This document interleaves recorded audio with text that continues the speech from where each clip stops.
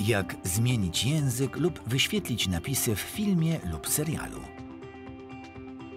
Na kanałach premium, takich jak kanały Kanal Plus, możesz sam zdecydować, w jakim języku chcesz odtworzyć film czy też serial.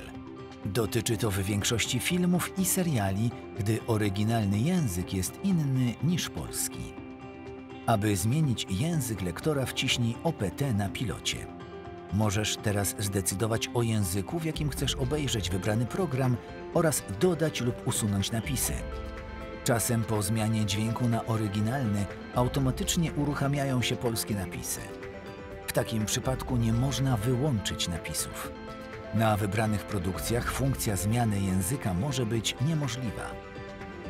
Po wciśnięciu klawisza OPT możesz także wybrać odpowiednią listę.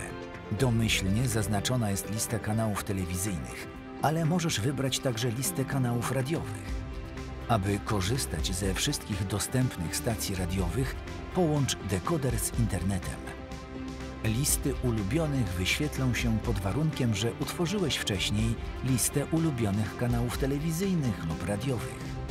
W opisie filmu znajdziesz link do instrukcji tworzenia ulubionej listy kanałów. Zachęcamy do subskrypcji naszego kanału na YouTube oraz korzystania ze strony kanalplus.pl ukośnik pomoc.